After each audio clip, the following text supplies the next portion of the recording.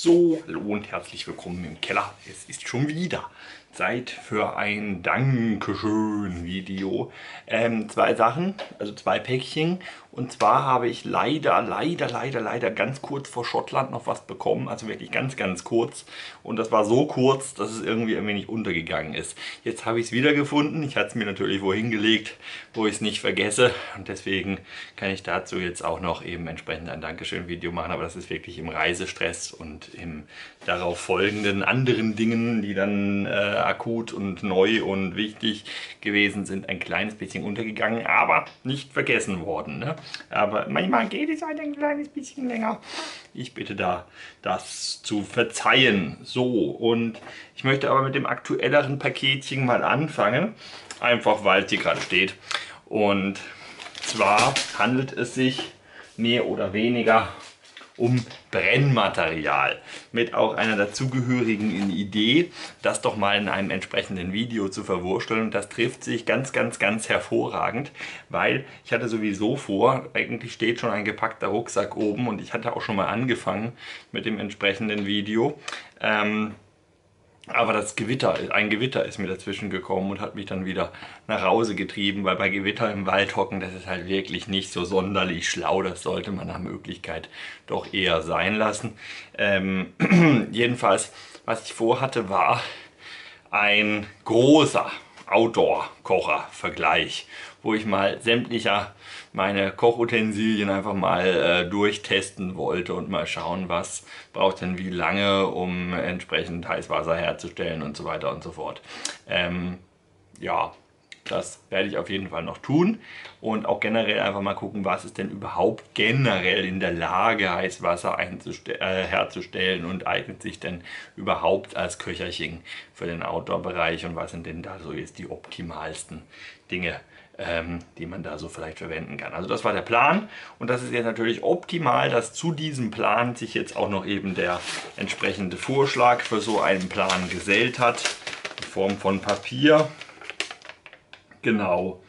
Ähm, und hervorragend das, der Hinweis ist auch noch der Faktor Umweltfreundlichkeit verschiedener Brennstoffe. Ne? Da gibt es ja durchaus äh, Sachen, die da vielleicht eventuell ein bisschen grenzwertig sind. So, das zum allgemeinen Blabla und ich zeige euch mal, was ich bekommen habe. Also unter anderem so ein cooles Döschen. Sieht jetzt erstmal nicht besonders spektakulär aus, gibt es auch für Marmelade, aber die ist aus Kunststoff. Auch wenn Kunststoff zwar theoretisch böse ist, sofern man ihn als Müll behandelt, ist er natürlich für ein so ein solches Döschen unglaublich praktisch, weil die wiegt, glaube ich, gefühlt überhaupt nichts besagte Dose. Es ist wieder Zeit für Bens glorreiche Briefwaage. Ich muss sie leider hinstellen. Ah ja, ihr könnt sie noch im, im, im hintersten Bildwinkel erkennen. Und tatsächlich wiegt unser Döslein sage und schreibe 14 Gramm. Ja, also ich würde sagen, das ist ein gutes Leergewicht für also eine Dose. Wenn die aus Glas wäre, wäre das eine ganz andere Nummer. Was kann man da reinmachen? Hm, ich habe spontan an Schuhcreme denken müssen. Das geht auf jeden Fall. Es gibt nämlich, habe ich das gerade hier irgendwo? Nee, nicht ganz griffbereit. Äh, es gibt da auch von Snow Seal, also mein bevorzugtes Schuhwachs. Das gibt es auch in so kleinen Döslein. Viel billiger ist es aber, wenn man große Packungen kauft. Dann müsste man es aber auf kleine Portionchen abfüllen, um es gescheit zum Trekking mitnehmen zu können. Und da bietet sich so ein Döslein ein. Natürlich kann man da noch diversen anderen Kram drin aufbewahren. Aber herzlichen Dank, das kann ich auf jeden Fall hervorragend gebrauchen. Und diese Döslein gibt es auch noch in ganz klein. Das ist natürlich ideal für ein bisschen Gewürz, bisschen Tabletten und so weiter. Man kann da nie wirklich genug von diesem Kram haben. Insbesondere da kulinarisch hochwertige Waldküche inzwischen ja ein Thema geworden ist bei mir. So, dann ganz, ganz, ganz, ganz cool dieses Objekt hier zum ein bisschen rumzündeln. Das ist natürlich auch irgendwie cool, ne? äh, Firestil am äh, Kienspann-Block. Sehr, sehr, sehr cool. Ich würde jetzt den Kienspan nicht allzu schnell verbrauchen wollen. Ich würde dann entsprechend eher den Firesteel verbrauchen wollen, weil der ist relativ dick, wie man hier sehen kann. Während der Kienspan, äh, ja gut, für ein bisschen Zunde abreiben reicht das ja auch ewig. Ne? So ist das ja nicht. Also sehr, sehr cool, gefällt mir durchaus. Weiß nicht, ob das selbst gemacht ist. Könnte ich mir vorstellen, weil der ist hier so aufgeklebt. Vermutlich mit, mit Heißkleber, da bin ich mir jetzt nicht ganz hundertprozentig sicher, aber das ist auf jeden Fall sehr cool. Und ich habe den noch gar nicht angerissen und werde das selbstverständlich mal schnell tun. Da haben wir hier gerade ein kleines Opinel. Äh, mein Nummer 7er ist es, glaube ich. Steht ja gar nicht. Ah, Nummer 6er. Nummer 6er ist es sogar nur.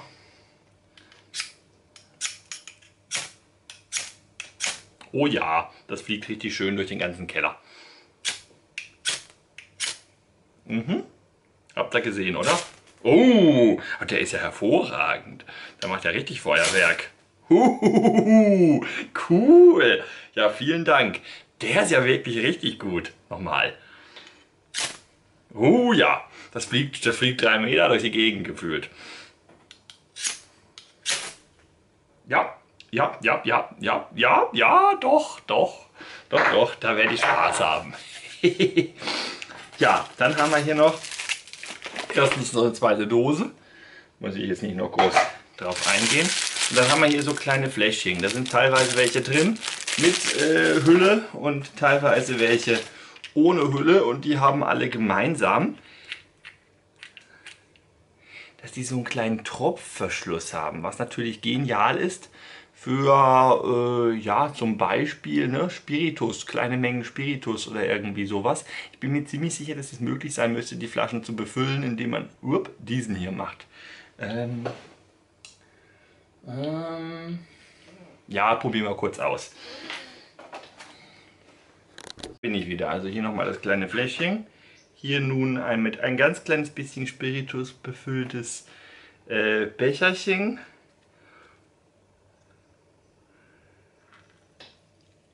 Oh ja, das funktioniert ganz wunderbar. Seht ihr?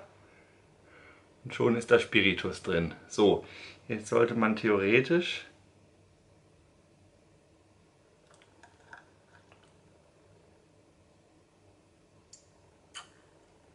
Oh ja, klappt wunderbar. Ne? Und die Schälchen hier ist so gut wie leer. Also das, das funktioniert ja hervorragend. Hätte ich jetzt nicht gedacht.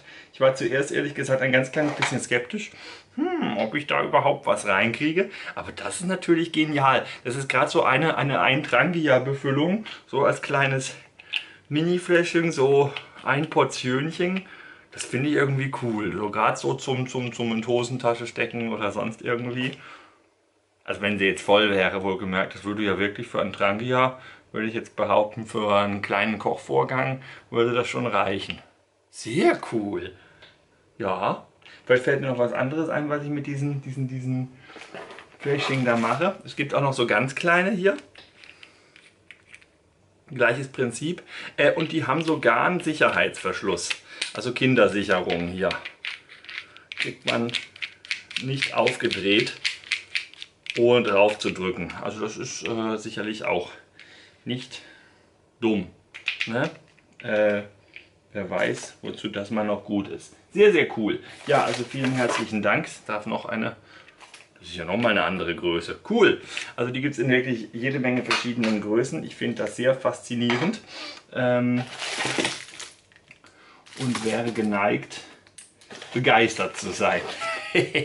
so, und dann hast du mir noch ein Feuerzeug mitgeschickt. Dachte zuerst, ja gut, okay, Feuerzeug kann man immer brauchen, kein Thema, äh, immer gut. Aber das ist kein Otto-Normalverbraucher-Feuerzeug. Nein, es ist ein Jetflame-Feuerzeug. Und das ist natürlich lustig. Und da müssen wir gleich mal kurz was anzünden. Hm. Hi. Oh.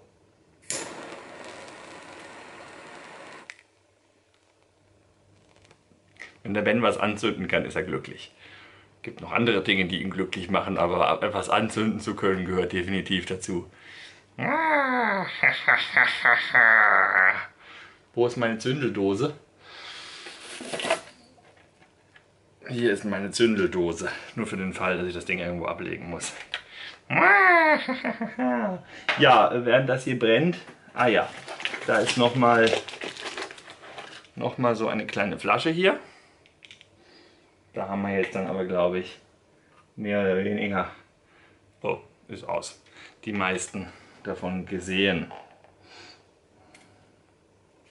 Ihr seht an dem Zustand meiner Zündeldose, dass da schon häufiger drauf und drin und auf der Unterseite oder sonst wie gezündelt wurde. Dafür ist sie da. Da befinden sich auch noch diverse Zünder und sonst was Materialien drin. Ähm, doch, sehr, sehr cool. Äh, ja, also doch, doch, doch, doch, doch. Äh, ich hab, ich hab wohl, ich hab wohl auch irgendwo so ein Ding müsste ich jetzt aus meinen äh, Feuerutensilien. Also mein Feuer, ne? also ursprünglich war diese Kiste hier, diese da, mal erheblich weniger voll und jetzt stapelt sich das Zeug schon da drauf und das passt da gar nicht mehr alles rein. Also an Feuerutensilien ist da wirklich das eine oder andere zusammengekommen. Teilweise liegt es auch schon in der benachbarten Kiste, da gehört das eigentlich gar nicht rein. Das ist die Licht-Leuchtmittelkiste, äh, aber ich hatte einfach keinen Platz mehr in der Brennmaterialienkiste. Ich brauche eine neue, größere Brennmaterialienkiste. Gut, irgendwann werde ich sowieso jetzt hier mal mein Regal mal noch ein kleines bisschen umfunktionieren und umsortieren, weil ich habe da hinten äh, äh, diese Holzdinger da unter den Vorratsschränken, wo die Lebensmittel rumstehen. Ähm, da gibt es so einen, Schrank, der hat so ganz viele kleine Schublädchen und da könnte man sich auch super so irgendwelche Survival-Kleinteile oder sonst was auslagern, dass ich dann hier ins Regal mehr so die bisschen größeren Sachen mache und so einen ganzen Kleinkramzeug, wie es zum Beispiel auch hier in dieser Dose drin habe. Hier diverse Prepper-Sticks, da noch diverses Zubehör für Prepper-Sticks, so tolle, tolle Feuermachschnallen für Paracord-Armbänder, für Hutbänder, die obligatorischen Zunder-Tampons, äh, äh, hier Knopfkompass, äh, das obligatorische Wassertransportkondom, irgendwelche super ultra streichhölzer die überhaupt nicht super ultra sind, aber in Anbetracht dessen, was sie quasi gekostet haben, solche kleinen Kerzen, ja allen möglichen Kleinkram, Utensilchen halt, Survival Kleinkram nenne ich das. Da habe ich auch eine extra Abteilung hier ähm, in meiner Wand, aber die wird auch voller und voller und deswegen muss ich mal langsam gucken, wie ich das löse. Gut, das hat aber nichts mit dem Dankeschön-Video zu tun. So, dann haben wir hier Red Tinder. Äh, ich will jetzt im Rahmen dieses Dankeschön-Videos das wirklich nicht ausprobieren. Das sind durchaus viele, also sechs Stück und die sind wohl wirklich sehr, sehr, sehr wertvoll, habe ich mir sagen lassen, weil ich hatte mal ein Video dazu gesehen. ich glaube vom Reini Rossmann war das. Ähm, und, und, und, und gucke ich gerne, was der so seine Produktvorstellungen äh, Vorstellungen macht, halt auf eine sehr sympathische Art und Weise. Äh, auch wenn er jetzt mehr Abonnenten hat als ich, ich habe den Tag kommen sehen, dass das der Moment sein wird, äh, der irgendwann kommt, äh, in dem er mehr Abonnenten hat als ich. Böse, böse. Nein, gar nicht. Ähm, ja, und, und, und, und ähm, jedenfalls hat der, glaube ich, ich glaube, es war der Reini, äh, der das auch entsprechend vorgestellt hat. Und das Tolle bei denen ist, die kannst du quasi beim Brennen noch mit Wasser übergießen, deswegen Wet Tinder und die gehen trotzdem nicht aus. Das ist also wirklich so ein idiotensicherer Feuerstarter. Die brennen wohl auch relativ lang. Weiß ich nicht, müsste man jetzt noch ausprobieren. Und die große Frage ist jetzt, das hat ja auch äh, der freundliche Schenker darauf hingewiesen, ähm, wie umweltschädlich ist denn sowas? Und ich werde da noch ein bisschen rumrecherchieren. Ähm, momentan steht hier nichts drauf, was einem weiterhilft, außer dass es aus Jacksonville kommt. Ultimate Survival Technologies äh, und wie man es benutzen soll und Danger Flammable. Harmful or fatal if swallowed. Ja, das war's. Mehr Info haben wir hierzu nicht. Ich werde, wie gesagt, versuchen, mal ein bisschen zu recherchieren, woraus die bestehen. Besonders gesund ist es mit Sicherheit nicht. Ähm, dass man das nicht unverbrannt in den Wald schmeißen sollte, da bin ich mir auch ziemlich sicher. Ja, schauen wir mal, schauen wir mal. Braucht man sowas? Weiß ich nicht, muss ich ausprobieren. Es ist auf jeden Fall zum Rumexperimentieren für mich. Mir eine große, große Freude, äh, das entsprechend jetzt zu haben und dann ein bisschen hantieren zu dürfen.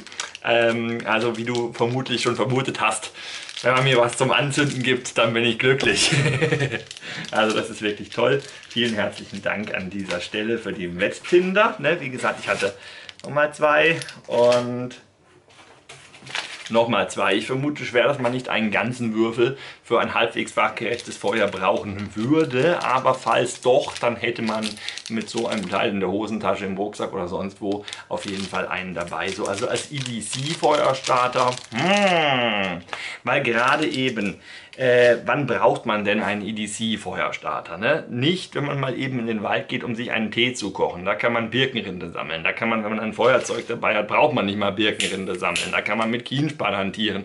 Da kann man kleine, dünne, trockene Ästchen nehmen. Da kann man sich äh, Holzspänchen zurechtschaben mit dem Messer und die dann anzünden. Oder man findet irgendwelches äh, vertrocknetes Stroh oder sonstiges Pflanzenmaterial, das in irgendeiner Form brennbar ist. Ne? Wenn man da wirklich Bock hat, ein Feuer zu machen, dann kann man auch suchen gehen und kann da auch was entsprechendes finden, wenn man dann Bock hat.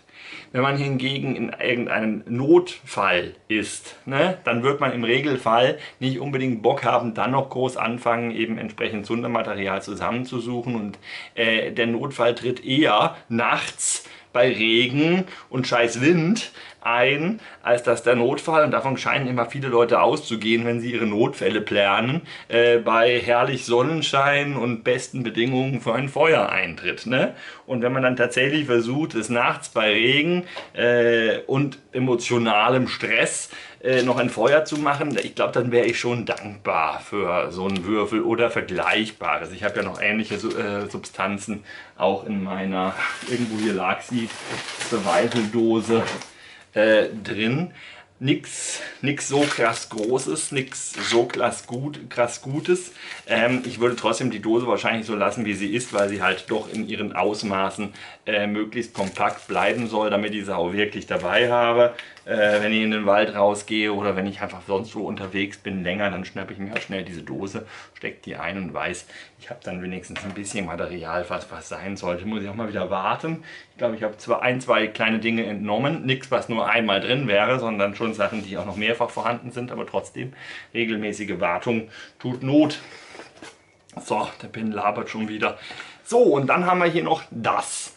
Das ist eine Pappschachtel. Und was ist da drin? Was Brennbares. So, und zwar äh, drei Bars von diesem Zeug. Seht ihr?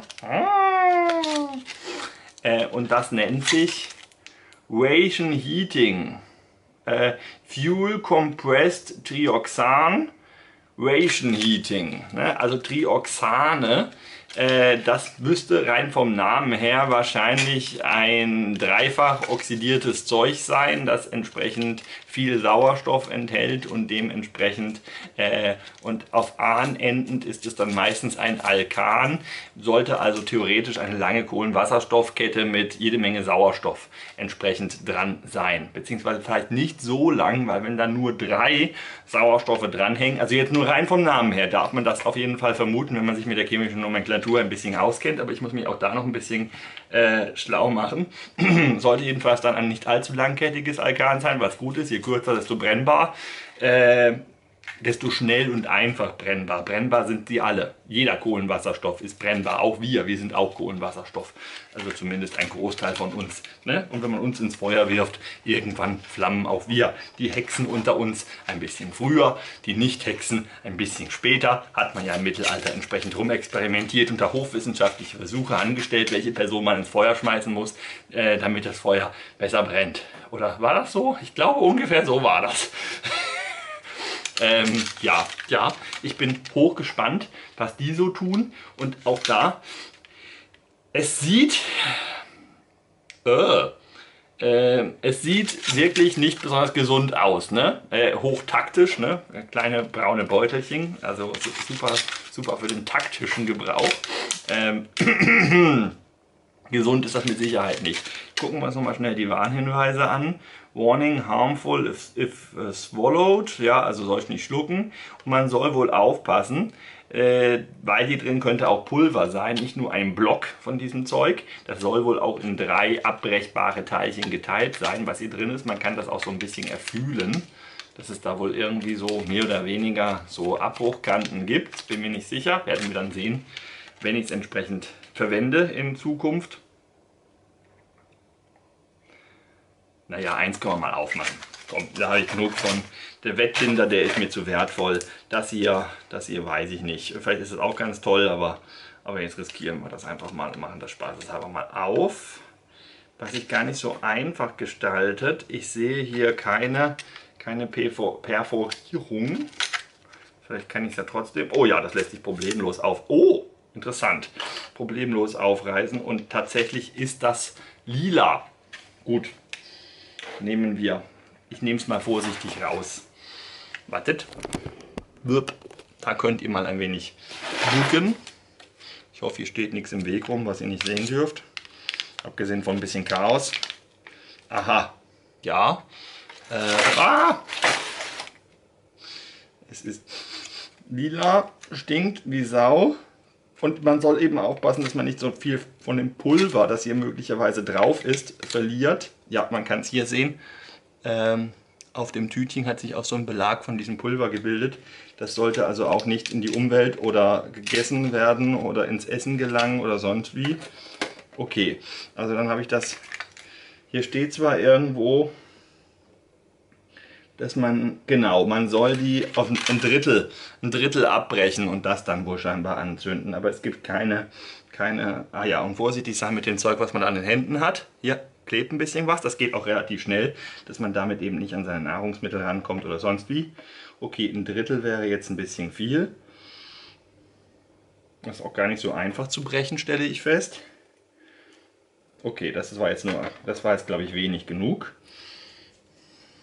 Wasche mir dann auch nachher brav die Pfoten. Ja, das bünden wir doch jetzt spaßeshalber einfach mal an.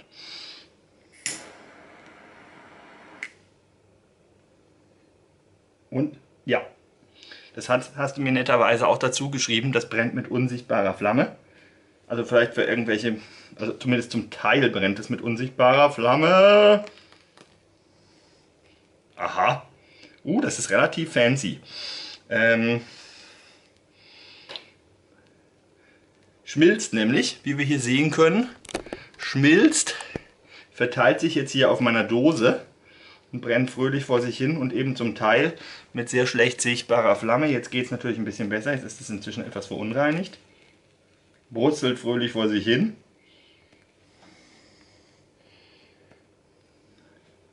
Ja, durchaus krasses Zeug. Für so eine kleine Menge war das jetzt ein beeindruckendes Brandverhalten. Hm, ich bin gespannt. Ich bin hochgespannt, was man damit so alles... Jetzt hängt die Kamera natürlich fest. Was man damit so alles wird anstellen können. Mal schauen, mal schauen, mal schauen. Also es ist ja gedacht zum Erhitzen der entsprechenden Ration, steht drauf. Dafür sollte es also in irgendeiner Form funktionieren. Äh, muss das nur irgendwie trocken dann in den Wald kriegen. Das Paketchen hier so wie es jetzt ist. Hier ist sehr interessant. Hm. Riecht auf jeden Fall auch nicht sehr gesund. Ne, ich will ja nicht daran rumnörgeln, aber du hast es mir ja zum Experimentieren äh, und rumprobieren und so weiter und so fort geschickt und ich hoffe, das ist in deinem Sinne, wenn ich das dann auch nach bestem Wissen und Gewissen tue und wie gesagt, ich mache mich auch nochmal schlau wegen den Inhaltsstoffen für das entsprechende Video. So, steht hier noch was Interessantes? Ja, nur, dass man äh, aufpassen soll, dass es nicht allzu sehr im Wind hängt, weil ne, ist halt nicht so effizient vom Brennvorgang und drei, äh, den Bar, also den, den Riegel in drei Stücke brechen, so zwei Inches lang. Mhm. Und vorsichtig eben mit dem losen Pulver beim Igniten sein, sonst kann das wohl in die Hose gehen. Ja, und davon habe ich dann noch einen. Und das wäre es gewesen. Und dann sage ich eben nochmal vielen herzlichen Dank eben für Päckchen Nummer 1 und zu Päckchen Nummer 2 kommen wir gleich. Ich muss nur ganz schnell ein Päuschen machen. So, und dann das zweite Päckchen ist von derselben Person übrigens. Das hatte ich doch ganz vergessen dazu zu sagen. Ist natürlich auch nochmal vielleicht ganz wissenswert. Ähm, das besteht zum einen, also es sind im Wesentlichen drei Komponenten, aber drei schöne, wohl durchdachte Komponenten. Nämlich, fangen wir mal mit dem Kleinkram an. Einmal Knicklichterchen, die kleinen. Da würde ich auch gerade mal eins knicken wollen. Oh, schön. Und leuchten tut's. Ja, bei diesen kleinen Knicklichtern ist das immer nicht ganz so einfach, das Leuchten im gesamten Licht verteilt zu bekommen. Ah, jetzt. Oh. Moment. Da könnt ihr sehen, da drin leuchtet es. Äh, ich hoffe, man, man, hat es, man hat es erkannt. Ist nicht so einfach gerade. So.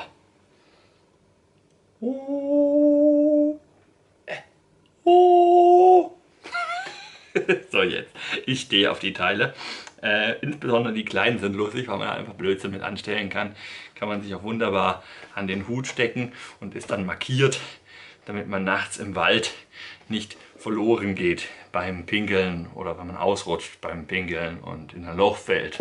Und dann kann ein äh, die Kameradin entsprechend wieder aus dem Loch herausziehen oder ähnliches. Ne? Also ich mag die. Ich finde die toll und das leuchtet auch wirklich relativ gut und da hat man ja immer was von. Ne? Die leuchten ja ein ganzes Weilchen. Das heißt, ich werde heute Abend noch Spaß haben. Äh, es ist schon Abend, es ist Viertel von neun. Äh, an diesem vor sich hin leuchtenden Knicklichtlein. Ne? Das sind die kleinen Dinge, die den Ben glücklich machen. So, dann weißt du darauf hin, dass ich teilweise ja auch mal durchaus Blödsinn erzähle in meinen Videos.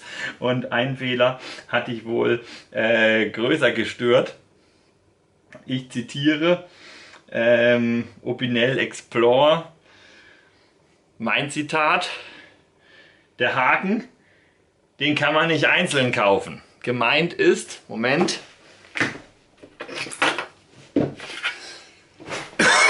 dieses Messer. Ne? Das äh, habt ihr wahrscheinlich schon ein paar Mal bei mir gesehen. Ich habe das gerne und häufig im Einsatz. In letzter Zeit renne ich mit dem Ranger Hood rum, aber äh, das ist auf jeden Fall auch ein schönes Messer, das man sehr gerne und häufig eben bei mir sehen kann. Und das hat neben der Tatsache, dass es eine entsprechend schöne Klinge hat, die auch schön scharf ist, weil Opinel und der Tatsache, dass es einen Kunststoffgriff hat und damit nicht die Opinel-typischen Probleme hat, ist noch das Special Feature.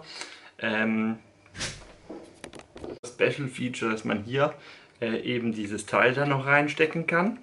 Wenn man das möchte, dann hat man hier was zum Schlüsselmesser äh, irgendwo festhängen oder man hat hier noch so einen entsprechenden Schneidhaken hier, also da ist, da ist scharf und damit kann man theoretisch zum Beispiel einen Anschnallgurt durchschneiden und das Ganze wird fixiert eben von diesem roten, roten Dingens und dann kann man das da entsprechend auf der einen oder anderen Position fixieren. So wäre es jetzt zum Beispiel fixiert. So, und dieses rote Dingens, das ist halt eben entsprechend ein Fire-Stil. So, und mit dem bin ich bisher immer sehr vorsichtig umgegangen, weil ich der Meinung war, man könne die gar nicht nachkaufen und wenn doch, äh, dann nur sehr teuer. Also mich hat dann irgendwann äh, die Info auch ereilt gehabt, dass die äh, zwar nachkaufbar wären, und das ist auch durchaus ein sehr guter Feierstil, wie man hier schön sehen kann. Trotz seiner Kürze äh, macht der ordentlich Funken in Verbindung ja, mit dem dazugehörigen Messer. Und das hätte ich jetzt normalerweise gar nicht gemacht, weil der ist ja heilig, weil den kann man ja nicht nachkaufen. Der ist nur für Notfälle. Und wenn der alle ist, dann ist der alle. Ne? So, aber das ist hier der Gebrauchte. Man sieht die Gebrauchsspuren hoffentlich deutlich. Und was der liebe Schenker gefunden hat, tada, man kann ihn doch nachkaufen, inklusive entsprechender E-Mail-Adresse, wo man ihn entsprechend nachkaufen kann und das durchaus auch für kleines Geld und nicht für horrende Gebühren, äh, wie sie Opinel selbst entsprechend verlangt. Äh, äh, ich habe mir den Link selber das noch nicht angeguckt. Deswegen weiß ich nicht, wie kleines Geld eigentlich genau, weil es ist ja auch ein Geschenk.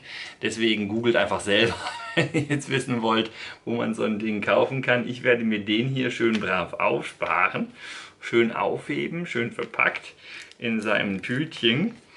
Äh, und habe dann tatsächlich einen Reserve Opinel Firestil für mein Opinel Explore in dem Moment, wo ich den mal brauchen werde und das kommt entsprechend zu meinen Zunder-Utensilien. Oh ne, noch besser zu den Messerutensilien, glaube ich. Das passt noch besser. Und damit ist mir sehr, sehr, sehr geholfen und ich gebe zu, dass ich offensichtlich im Unrecht war, was die nicht Nachkaufbarkeit äh, dieses Feierstils entsprechend angeht. Ah, Zündeln. Wenn man sonst keinen Spaß im Leben hat, dann kann man immerhin zündeln. Wobei ich zugegebenerweise derzeit sehr wohl auch noch andere. Äh, egal, lassen wir das. Ähm, so. Und dann war da noch drin, so, jetzt muss ich leider gestehen, war ich schon wieder doof. Äh, der Inhalt dieser Tüte. Was steht da drauf? Da steht drauf, falls ihr es lesen konntet, ist gut. Victorinox Zubehör Gürtel Pirt mit Logo.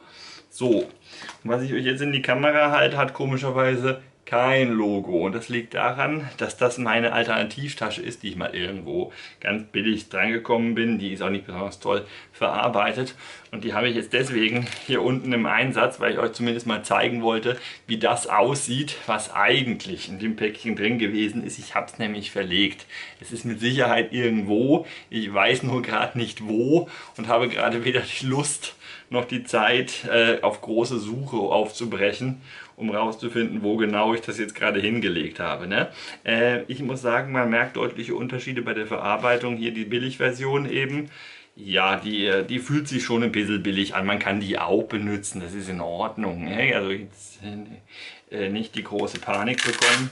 Ähm, ist auch von daher gut, weil hier ein großes Stück Klett eben entsprechend angebracht ist. Da beim Original natürlich alles genauso. Hier unten mit diesem Schnürchen ist ganz praktisch, wenn man es dann relativ schnell aufbekommt. So, und das ist eine Messertasche für, äh, so wie ich das sehe, äh, Victorinox Messer dieses Formats. Das hier ist so ein ganz altes Bundeswehr Taschenmesser und die passen da wunder, wunderbar rein. Ein Ranger Wood, das ist ja noch mal ein bisschen größer, weil das ja ein ausgekoppeltes Wenger-Messer ist, wo jetzt zwar Victorinox draufsteht, aber ursprünglich immer noch ein Wenger-Messer ist. Das passt da auch rein, dann geht die Tasche aber eher so zu. Das macht aber überhaupt nichts, funktioniert trotzdem und ist trotzdem eine wunderbare, oder, oder so ungefähr, und ist trotzdem eine wunderbare Gürteltasche für dieses Messer. Und ich hatte die auch schon im Einsatz.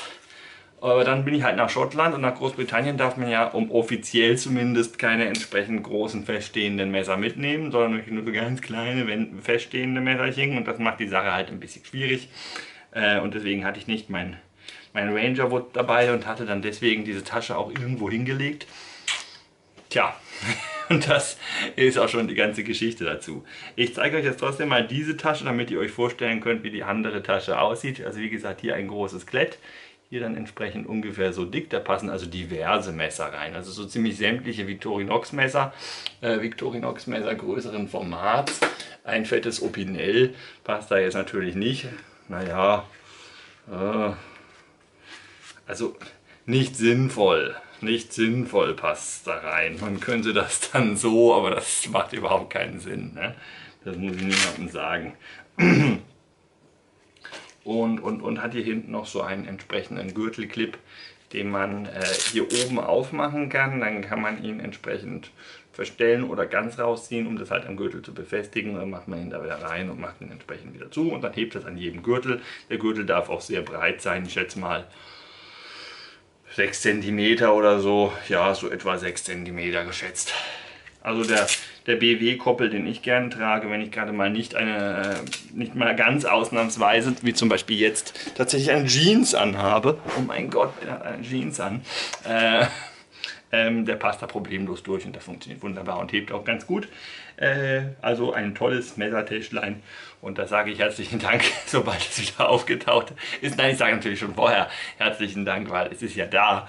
Ähm, nur ich bin halt doof und aber ich finde es mit Sicherheit wieder. Mein Keller und der Rest vom Haus äh, verschluckt, verschluckt im Regelfall.